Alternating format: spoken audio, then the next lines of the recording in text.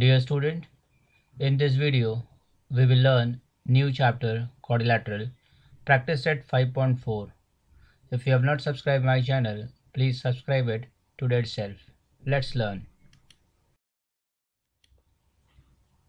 Question number 1. In quadrilateral IJKL, side IJ parallel side KL, angle I equals 208 degree angle K equals to 53 degree, then find the measure of angle J and angle L. Let's see the solution of this question. Look at this figure. In this figure, side IJ and side LK are parallel to each other and IL is a transversal. So here we will, we will write here side IJ parallel side KL and side IL is the transversal. Look at this figure. Here angle I and angle L are interior angles formed by parallel line IJ and LK with transversal IL.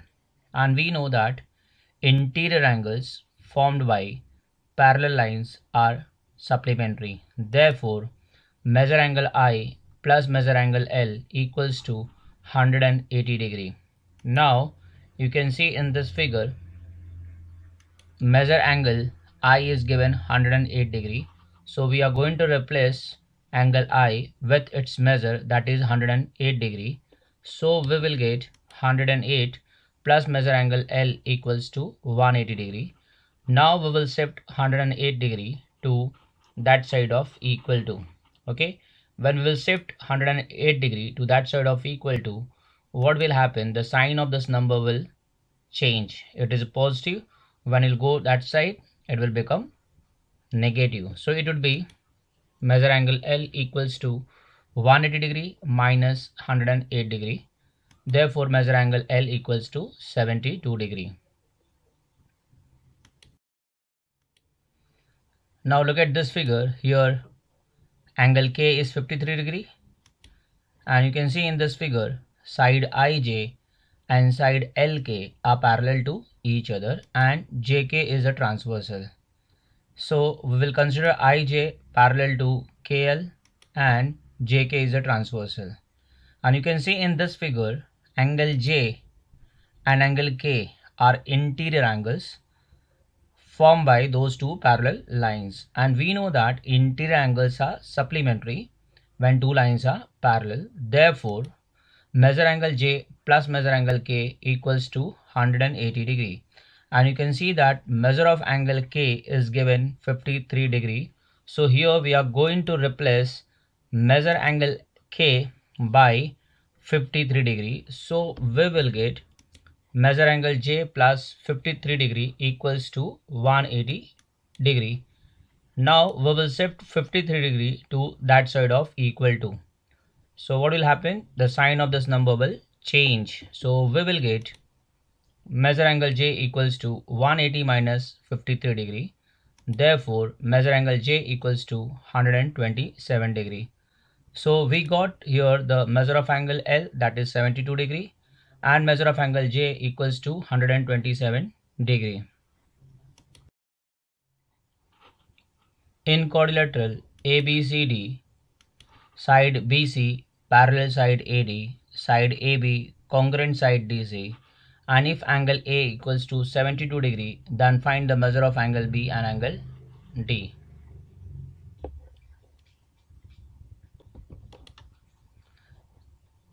Let's see here we are going to do construction. Look at this figure. We are going to draw perpendicular from vertex B to side AD. So you can see that I have made a perpendicular segment from vertex B to side AD. We'll name this segment as BP. Similarly, we will make perpendicular from vertex C to side AD. So look at this figure. Here I'm going to draw perpendicular from vertex C to side AD. Okay, you can see that I have made a perpendicular from C to side AD. We'll name this perpendicular segment as CQ. So we will write the construction over here draw seg BP perpendicular to side AD and seg CQ perpendicular to side AD. Now let's see the solution of this question. So look at this figure. in this figure side BC and side AD are parallel to each other. Okay, you can see here side BC and side AD are parallel to each other and BA is a transversal of those two parallel lines. So here angle A that is BAD and angle B that is ABC are interior angles and interior angles formed by parallel lines are supplementary. It means measure angle A plus measure angle B equals to 180 degree. So let's see the steps over here. Measure angle A is 72 degree. It's a given. Side BC and AD are parallel and AB is a transversal. So the angle A plus angle B equals to 180 degree according to interior angles theorem. Now you can see that measure of angle A is given as 72 degree, right? You can see in the given part, angle A is given 72 degrees. So we are going to replace angle A by 72 degrees. So we will get 72 degree plus measure angle B equals to 180 degree. Now we will shift 72 degree to right hand side of equal to. So we will get measure angle B equals to 180 degree minus 72 degree. Therefore measure angle B equals to 108 degree. So you can see that here it is asked to find angle B and angle D. So you can see that I have got the measure of angle B that is 108 degree. Now we are going to find out angle D. So let's see the next steps what to do to get the angle D.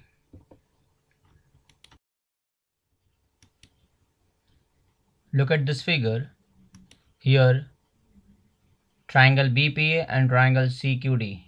Okay, we are going to take triangle BPA and triangle CQD and we are going to prove these two triangles congruent. So let's see this figure here angle BPA and angle CQD. Can you see in this figure angle BPA and angle CQD are 90 degree Therefore, angle BPA congruent to angle CQD as their measure is same that is 90 degree. Look at this figure here hypotenuse BA and hypotenuse CD. Can you see in this figure? Hypotenuse BA and hypotenuse CD will be congruent to each other. Why? It's a given.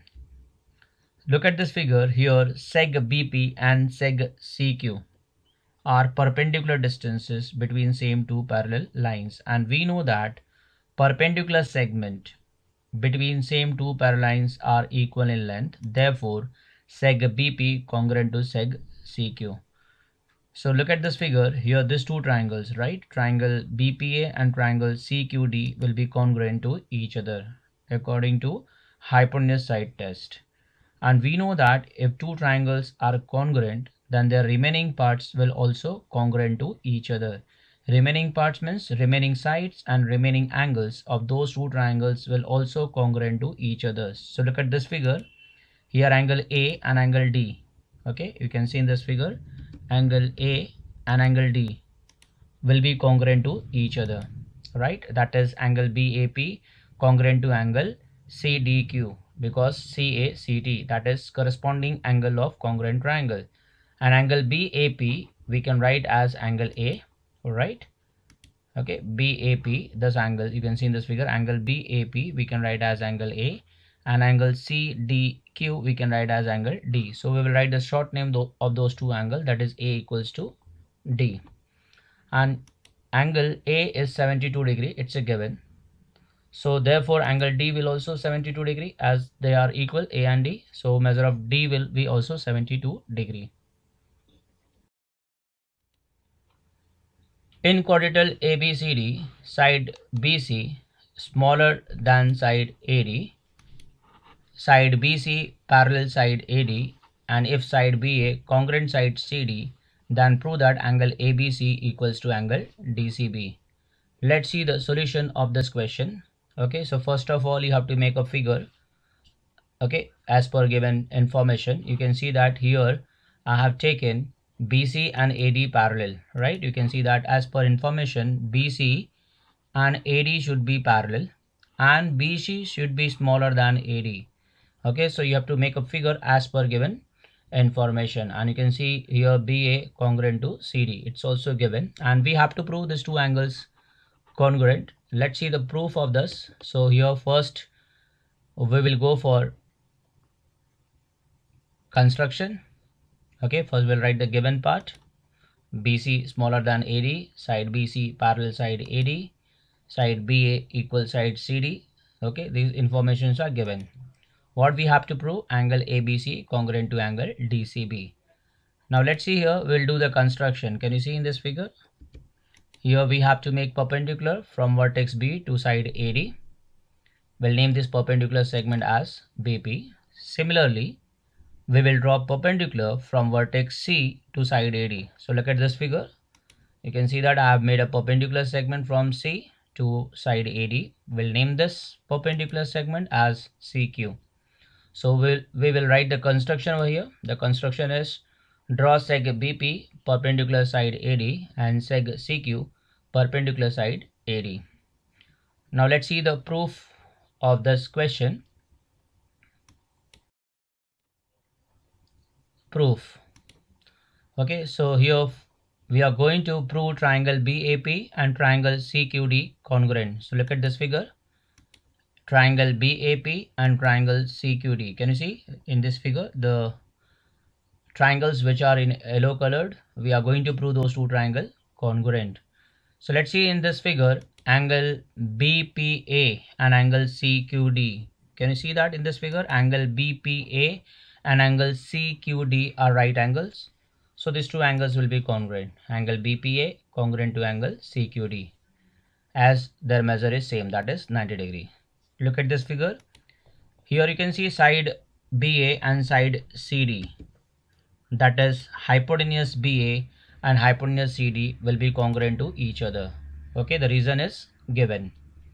And look at this figure here side BP and side CQ will also congruent to each other okay you can see in this figure side BP and side CQ will also congruent to each other why? Because they are perpendicular distances between same two parallel lines. So seg BP congruent to seg CQ. So look at this figure. These two triangles will be congruent, right? That is triangle BPA and triangle CQD according to hypotenuse side test. And if these two triangles are congruent, then definitely their remaining part will also congruent to each other. Remaining part means remaining sides and remaining angles of these two triangles will also congruent to each other. So look at this figure. Angle A and angle D. Can you see in this figure? Angle A and angle D will congruent to each other. Angle A means angle BAP congruent to angle CDQ. Right? Why? CACT corresponding angle of congruent triangle. So the Therefore, angle A equals to angle D. That is short name of those two angles. Angle A equals to angle D. We'll consider as equation number 1. Now look at this figure. In this figure, here side BC and side AD are parallel to each other, right? And BA is a transversal. So side BC parallel side AD and side AB is a transversal. So look at this figure here angle A plus angle B equals to 180 degree. You can see in this figure angle A and angle B, right? Can you see in this figure angle A and angle B are interior angles formed by those two parallel lines and interior angles formed by parallel lines will be supplementary. Supplementary means sum of these two angles will be 180 degree. Okay. So therefore angle A plus angle B equals to 180 degree. Now similarly you can see that side BC parallel to side AD and side CD is a transversal. You can see in this figure side BC and side AD is are parallel and now transversal is CD. Right? What is transversal over here? Transversal is CD. So BC parallel to AD and CD is a transversal. So look at in this figure angle C and angle D. Can you see in this figure angle C and angle D? They are interior angles and they will be supplementary. Therefore, angle C plus angle D equals to 180 degree. Now we'll compare equation 2 and 3. Can you see in this figure? Angle 2 and angle 3. Sorry, equation 2 and uh, equation 3. The right hand side is equal 180 degree, 180 degree. Okay, so angle A plus B equals to angle C plus angle D from 2 and 3. Okay, now we proved it angle A congruent to angle D in equation number 1, right? We proved it before angle A congruent to angle D. So you can see that I have replaced angle D. Okay, you can see at the place of angle D, I wrote angle A. Why D can be replaced by A? We proved it in equation number 1 okay so now look at over here here angle a will be eliminated from both the side right you can eliminate angle a from both the side. So what will be left if we'll remove angle a from both the sides? So you will get measure angle b equals to measure angle c. So we proved it over here angle abc congruent to angle dcb